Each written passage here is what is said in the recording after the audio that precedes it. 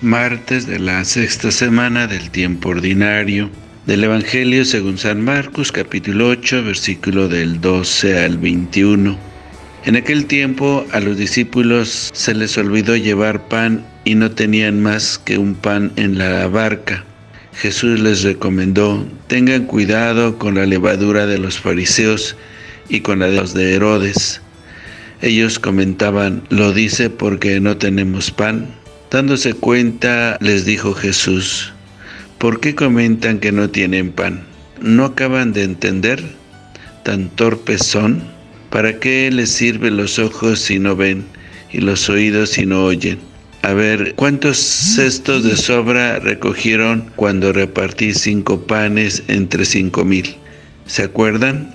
Ellos contestaron, doce. ¿Y cuántas canastas de sobra recogieron cuando repartí siete entre cuatro mil? Le respondieron siete. Y les dijo, ¿y no acaban de entender? Palabra del Señor. Gloria a ti, Señor Jesús. A partir de un episodio sin importancia, los discípulos se han olvidado de llevar suficientes panes. Jesús les da una lección sobre la levadura que han de evitar Jesús va sacando enseñanzas de las cosas de la vida, aunque sus oyentes esta vez, como tantas otras, no acaban de entenderle. La levadura es un elemento pequeño, sencillo, humilde, pero que puede hacer fermentar en bien o en mal a toda una masa de pan. También puede entenderse en sentido simbólico.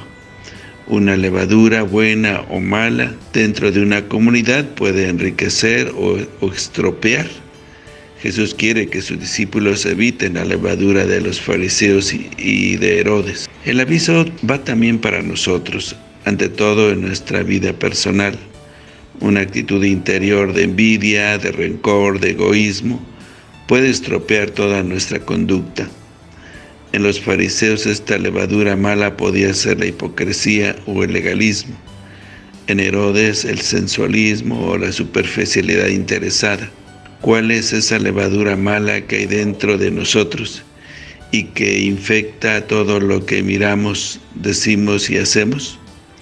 Al parecer muchas veces nosotros tampoco hemos entendido a Jesús. Él piensa en las dificultades que sus discípulos podían tener en el trato con aquellos que no entienden el mensaje del Evangelio y por el contrario van buscando obstáculos. Mientras los discípulos están preocupados por un poco de pan, es necesario que aprendamos a ver y aprender lo que en realidad es importante.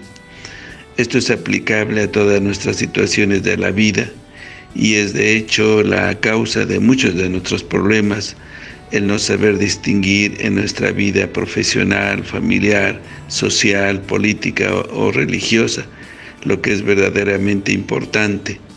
La causa de, esta, de este desorden es la falta de luz en nuestro corazón, que nos hace ver las cosas de una manera muchas veces equivocada, y darle peso a lo que no, a que no lo tiene y viceversa.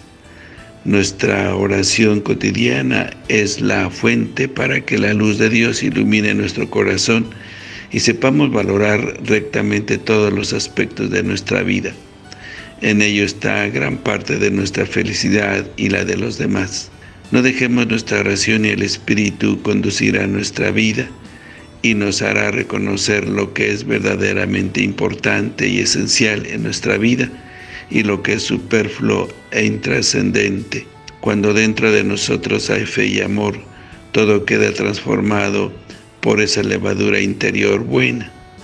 Los actos visibles tienen una raíz en nuestra mentalidad y en nuestro corazón. Tendríamos que conocernos en profundidad y atacar a la raíz. El aviso también afecta a la vida de una comunidad. Pablo, por ejemplo, en 1 Corintios 5, versículo de 6 al 8, aplica el simbolismo al mal que existe en Corinto. La comunidad tendría que ser pan ácimo, o sea, pan sin levadura mala. Dice, ¿no saben que un poco de levadura fermenta toda la masa? Purifíquense de la levadura vieja para hacer masa nueva, pues son ácimos. y quiere que expulsen esa levadura. Está hablando del incestuoso y así pueden celebrar la Pascua, no con levadura vieja ni con levadura de malicia e inmoralidad, sino con ácimo de pureza y de verdad. Que el Señor los bendiga.